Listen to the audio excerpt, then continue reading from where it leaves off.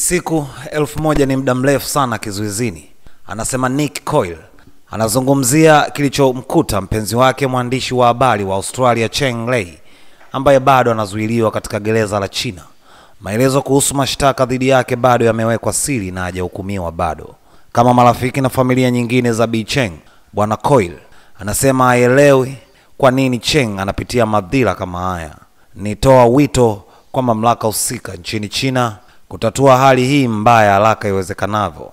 Cheng Li alikuwa akifanya kazi kama mwandishi wa taarifa za kibiashara katika kituo cha televisheni cha taifa cha China cha CGTN alipokamatwa ghafla na maafisa wa usalama wa serikali tarehe 13 Agosti mwaka wa 2020 na baadaye kushutumiwa kwa kutoa siri za serikali nje ya nchi kinyume cha sheria.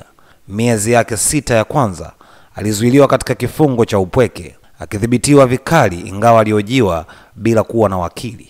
Tangu wakati huo amekuwa akizuiliwa pamoja na wafungwa wengine. Kesi yake ilifanyika faraha mwezi Machi mwaka jana. Balozi wa Australia nchini China Graham Fletcher alinyimwa kuingia mahakamani, lakini hukumu yake imeahirishwa mara kwa mara. Juhudi za kuwasiliana na maafisa wa mahakama ya Beijing ambako kesi yake ilifanyika hazikufaulu.